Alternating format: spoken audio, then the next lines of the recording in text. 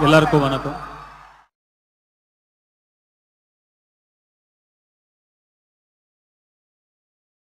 தொகுப்பாளர் கூறியது தனுஷுக்காக காத்திருக்க முடியவில்லை.